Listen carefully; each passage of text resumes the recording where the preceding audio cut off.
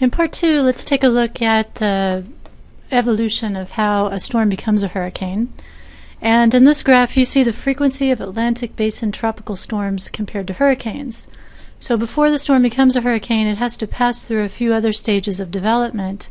The previous one is a tropical storm. And you can see of the number of tropical storms here in blue, uh, the, the proportion of them that actually go on to become hurricanes.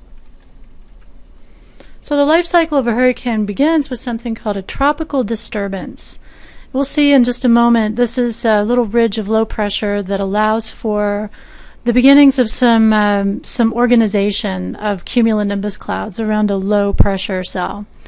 And then if conditions are favorable, uh, this tropical disturbance can grow into what's called a tropical depression, and it's defined by its development as well as its wind speeds. So for tropical depression, we're looking at maximum sustained winds of 23 miles per hour or higher.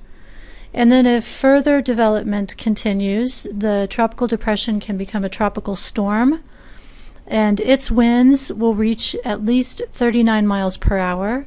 And at this point, the storm is assigned a name. And then if that tropical storm continues to develop, it may become a hurricane. Hurricanes' winds uh, reach 74 miles per hour or higher.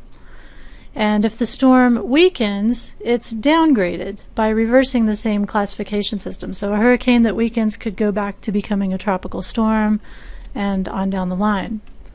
Here's a picture of a tropical disturbance.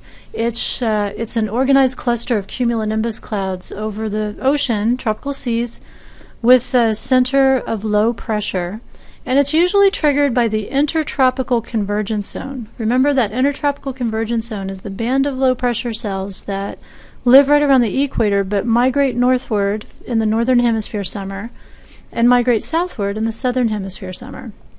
So here we're seeing the predominant uh, wind flow here, um, which is an easterly wave, and we get a little ripple in the action and it causes a weak trough of low pressure.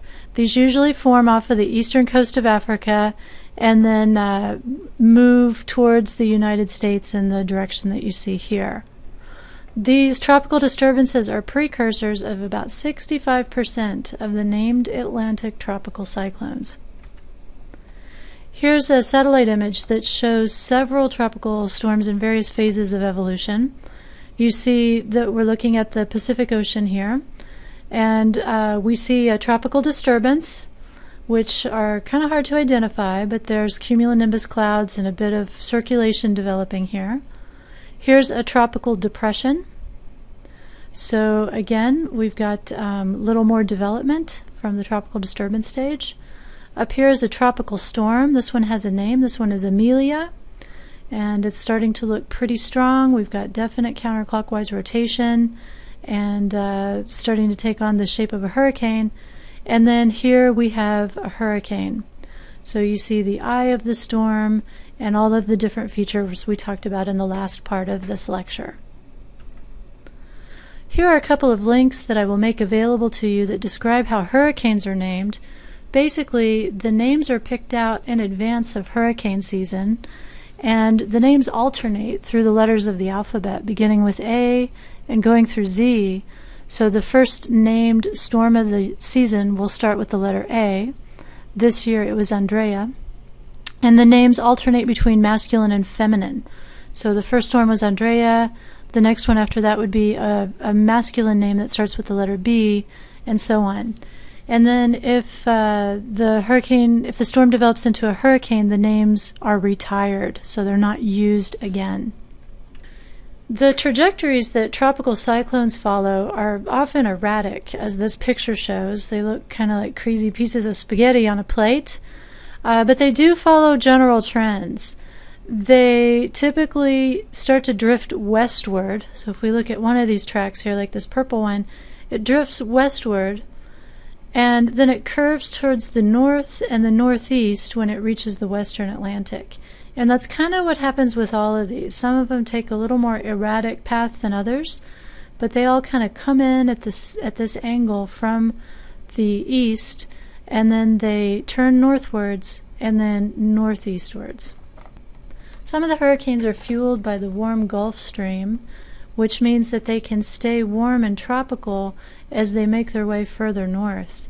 So, New England, uh, which is not really in the hurricane formation area, receives the brunt of a lot of strong hurricanes because of these erratic paths.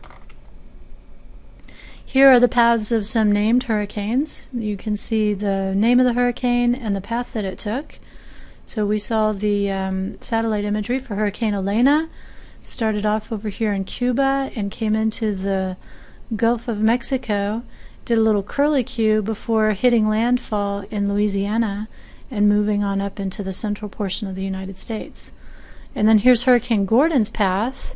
You can see that it did a big curlicue before uh, coming onto land.